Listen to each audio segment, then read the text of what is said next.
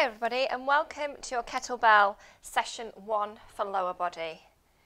I'm Sarah and I'm going to be taking you through your PT session today. We're going to be working with kettlebells and we're going to be targeting the lower body. We'll look at three exercises today, deadlift, swings and goblet squat.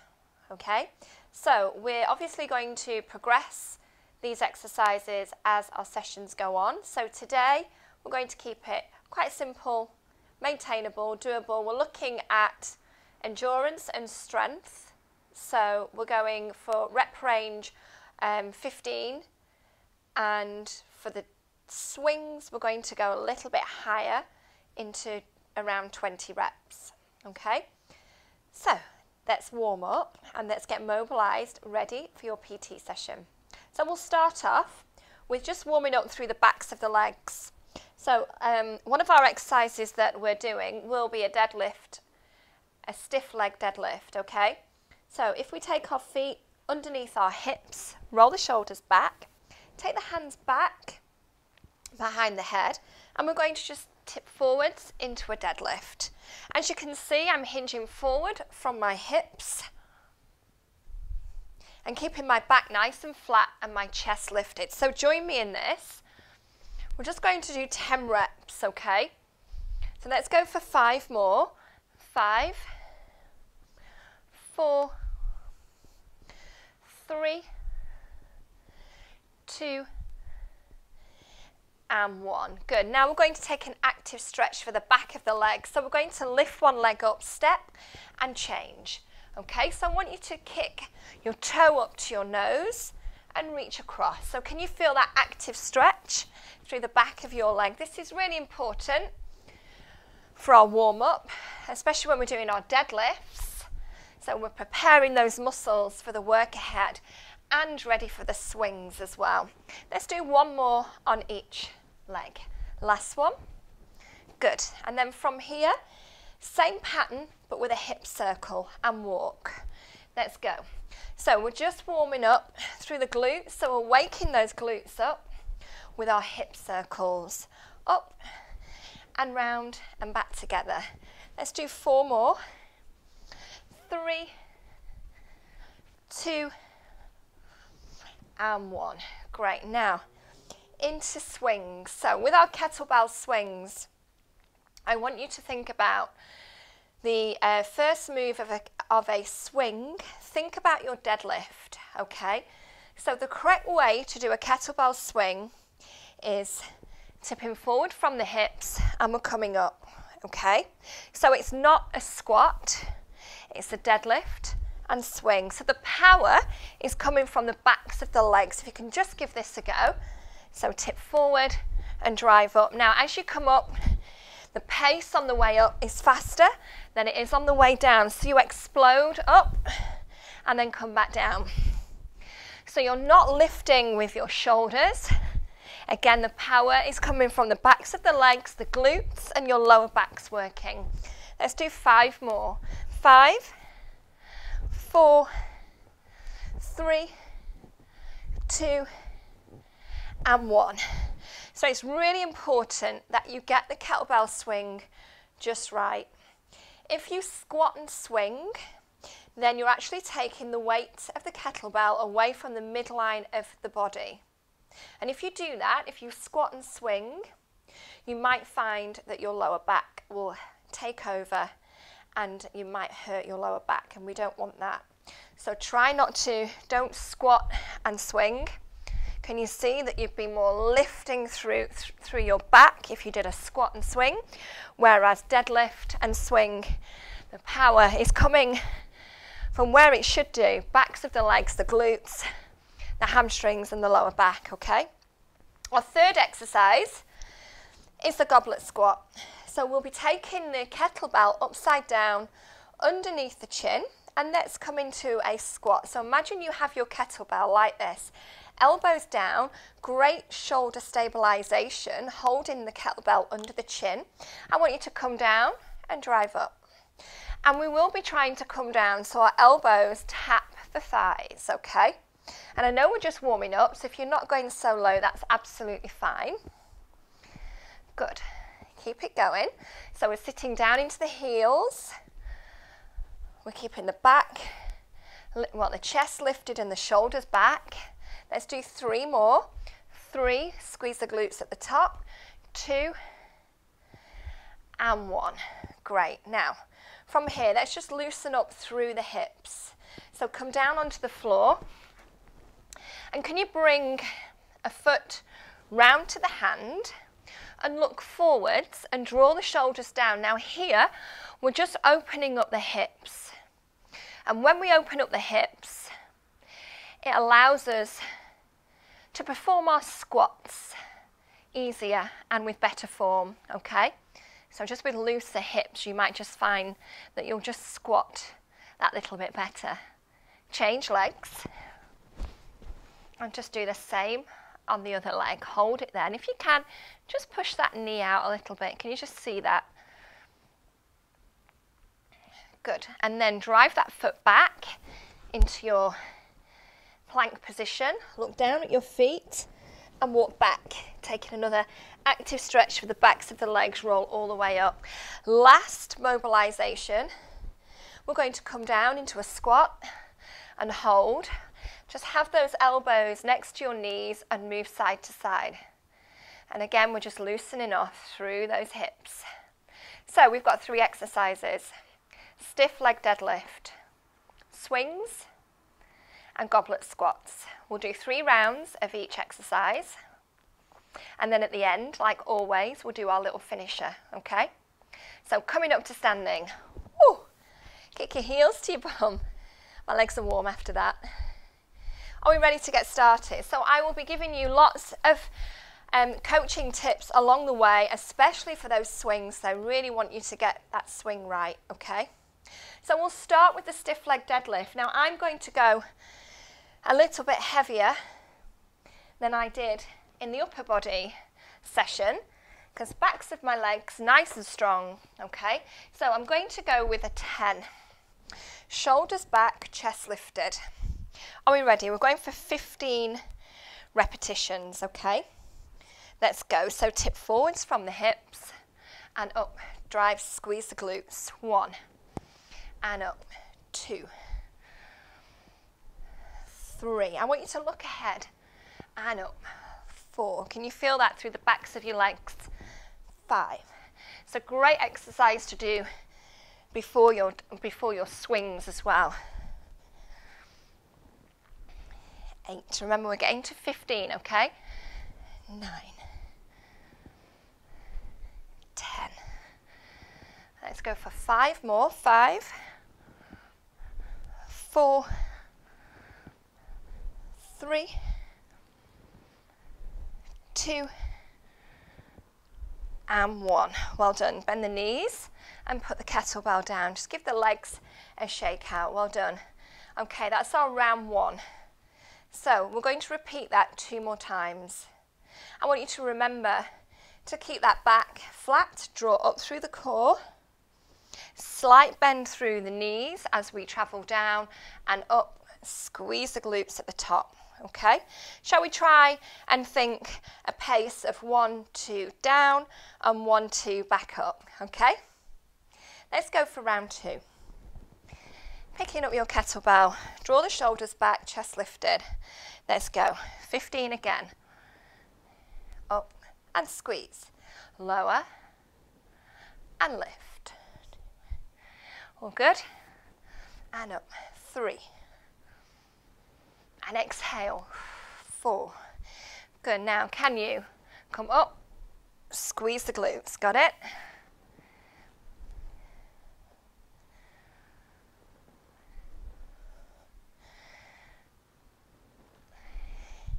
Well done, we've got seven more, okay? Get to that 15. Seven, focus through both, both of the legs.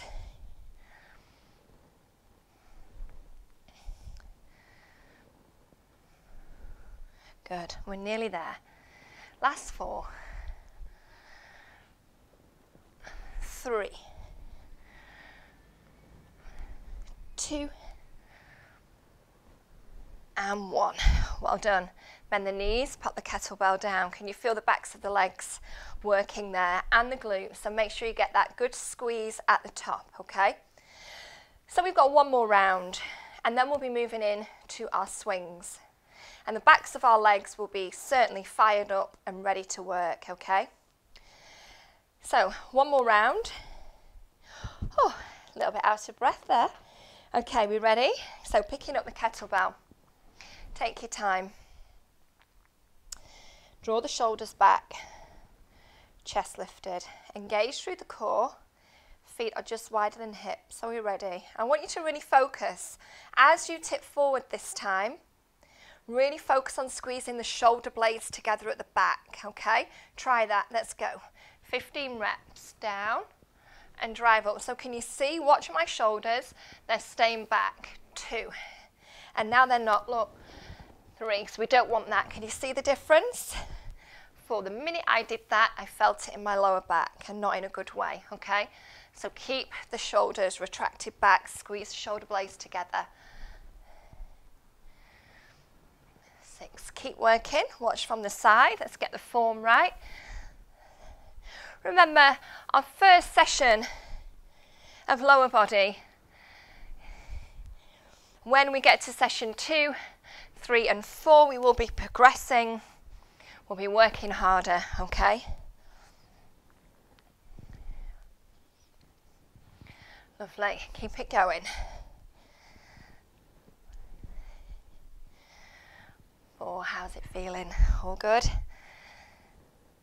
Let's do one more and up and squeeze. Well done. Bend the knees, put the kettlebell down safely. Good job. Well done, everybody. So we've done our three rounds of our deadlifts. Let's move on to our swings. I'm, I'm going to stay, for myself, I'm going to stay with the 10 kilo. Okay, if you're new to kettlebells and you're new to the swing, okay, maybe just go a little bit lighter if you do have a lighter weight, okay? just to get the form right. However, don't go too light because sometimes I do feel that if it's too light, your form, um, I guess the weight dictates the form, okay? So if it's too light, sometimes it can be a little bit all over the place. So make sure it's a weight that you can feel, but, a weight that you can um, maintain that form safely and correctly, okay? So kettlebell swings, we're going for 20 reps. Again, think about that stiff leg deadlift and watch. I'm going just, just going to do a couple of reps for you. Just watch first. I'm going to tip forward. I'm going to fire up. Okay, I'm going to do three more. Three, two, and one. Good. Okay, now remember, don't squat.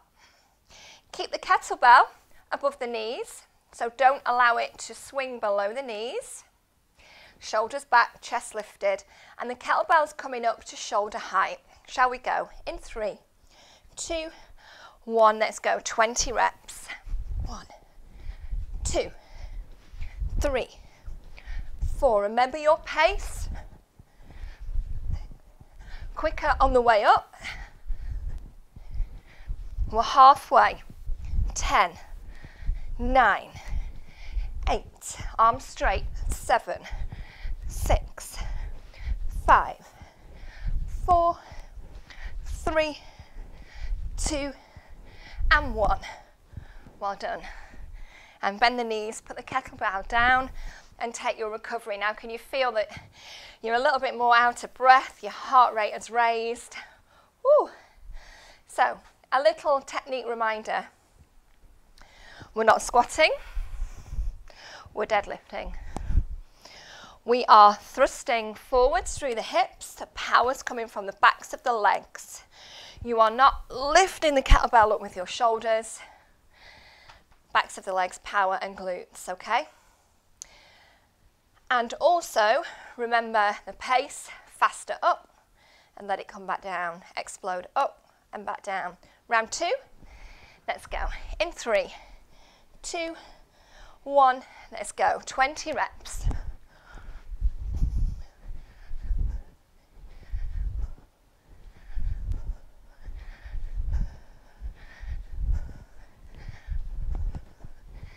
Nine. I'm going to face you. Don't jump round like that, will you? 10 more. Nine, eight, seven, six, five, four, three, two, and one. Well done. Kettlebell down. Woo. Okay, hope you're getting on okay with the swing let me know at the end of the session in the comments how you found the kettlebell swing. We've got one more round. Now, extra focus on the thrust and the squeezing of the glutes at the top, okay?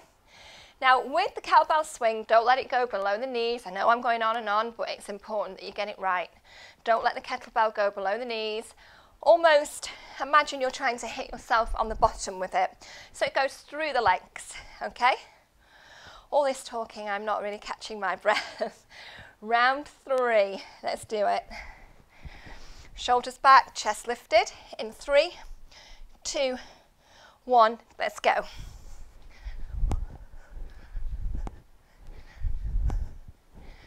Four, don't worry, I'm counting.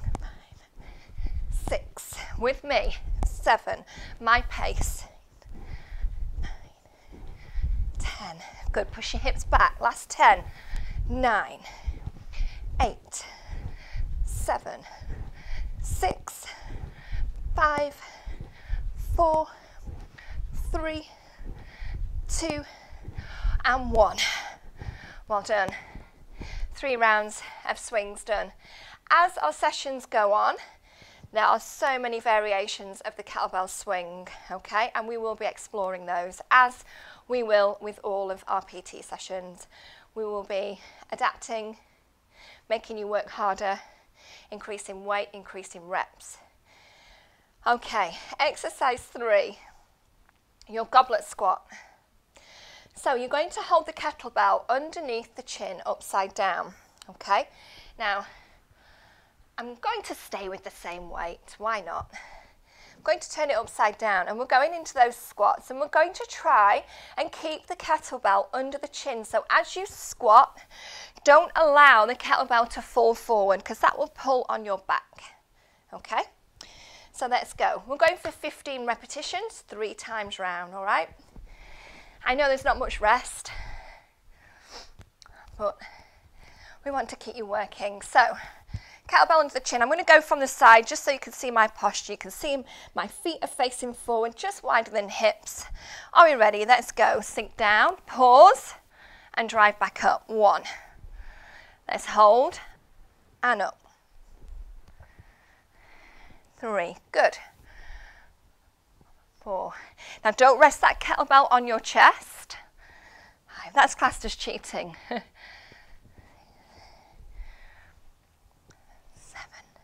Nice pace. Eight. Nine. How we doing? We've got five more, okay?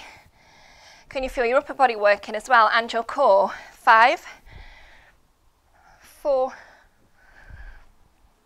Three.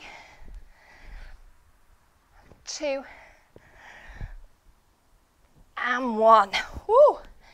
Well done. Kettlebell down don't you find that it raises your heart rate that little bit more having to have the kettlebell underneath your chin so your shoulders are activating, your core's working to keep that kettlebell there, extra work for the core, and of course, quads and glutes are working.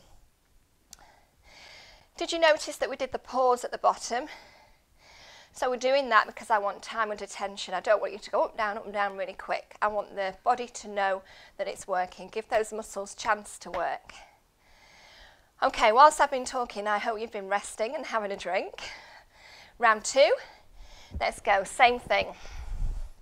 So hold that kettlebell underneath the chin, chest lifted, elbows in. Round two, let's go. One, Driving up through the heels, sinking down into the heels.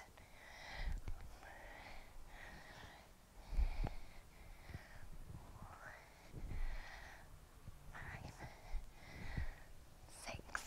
Good. We're on it, yes? Stay with my pace. That's nine, and push. Perfect. Five more. Stay with it. Inhale, exhale on the way up. Inhale on the way down, exhale on the way up. Three more. Three, two, and one. Well done. Pop the weight down. Woo. How are we doing? We feel that? Heart rate's raised? Yes, good. So we're going to do that one more time in a second.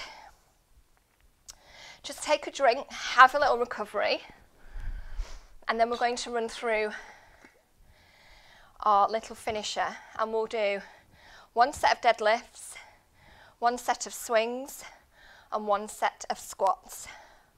One after the one after each other, okay? Without any rest. So that will be our little finisher. So we've got one more round of squats. Now, just a little side note, if anybody feels as if their heels don't want to stay down on the ground, okay, that, that could be because you've got tight calves. So if you feel like your heels are lifting a little bit, or you feel like you naturally need to take a wider stance to get down lower, that just means that you've got a flexibility issue in your calf. Now, obviously you need to stretch more, but a little fix for that when you're doing your squats is to just put something underneath your heels. Like if you had a couple of discs like this at home, or a couple of magazines, thick magazines, underneath your heels like this, just to lengthen that calf. And then you'll find that you'll probably get down lower, okay? So if you need to try that, then you can do. Let's do our last round. Set three in three, two, one. Let's go. And I'm keeping that kettlebell lifted underneath my chin, engaging through the core. And I'm having that pause at the top, at the bottom.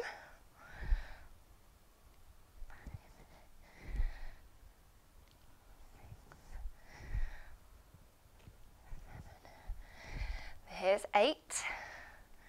That's it, let's get this finished. Nine.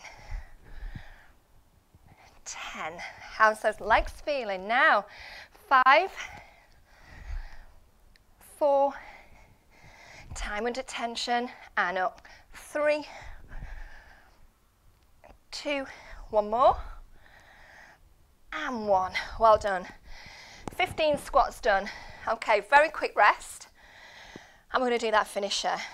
So, 15 deadlifts, 20 swings, 15 squats, and you're done. Okay? So, picking up the kettlebell. First exercise. Back into those stiff leg deadlifts. In three, two, one, let's go. Tip forwards and back up. One, focus on the backs of the legs, both of them. Two, squeeze the glutes at the top. Three, shoulders back, chest lifted.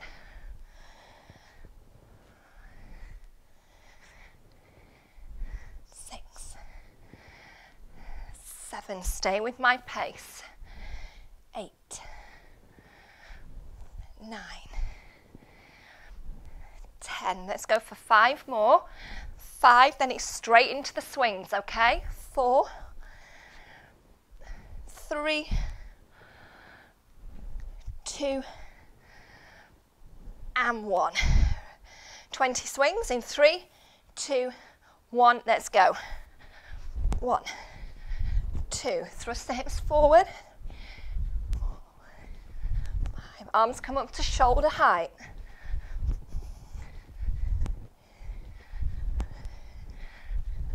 halfway.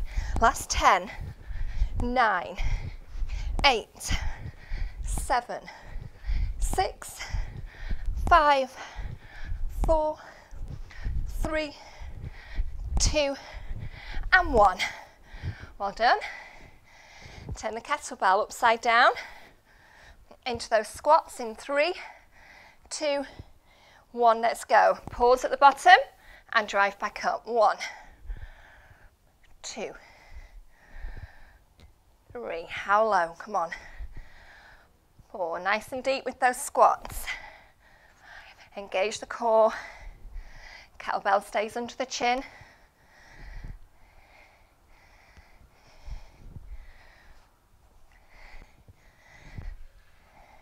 We've got five to go, okay, team? Five and push. Four and up. Three and up. Two and drive up. One more. And up. Well done. Your little finisher. Nailed. Kick your heels to your bum. Just release off through those legs. Ah. Well done, team. So, deadlifts, swings, goblet squats. Nailed. All right, so just rotate round. Now don't forget on the swings, on the deadlift, your lower back does work. Okay, so you are activating through the lower back. Come down onto the floor, but you shouldn't feel like you've, um, you shouldn't feel like you've um, pulled your lower back, obviously. So just watch your form with those swings, okay? Take a foot onto your knee and let's just stretch out through the glutes.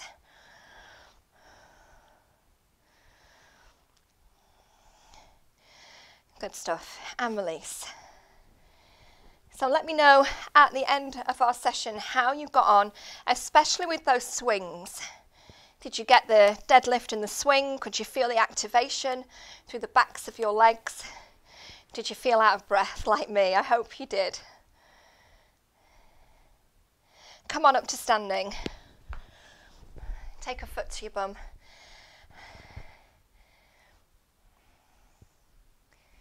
Great. And release it. Get those extra stretches in through those legs. Okay, and then really importantly, backs of the legs because they worked on the deadlifts, worked on the swings. Relax the head and the shoulders. And now bend the knees, roll all the way up. Good. And now can you just squat down? Dare I say that word? Squat down. And we're just going to arch up through the lower back. So we're stretching off through that lower back into a standing cat-cow position. So hold and then release it, look forward, so drop the hips. And let's do that one more time in each position. Curl up and hold. And release it. And then come all the way up. Inhale. And exhale. Well done. Guys, thank you very much for joining me for your week one, your first kettlebell lower body PT session with me. Have a great day and I will see you next time.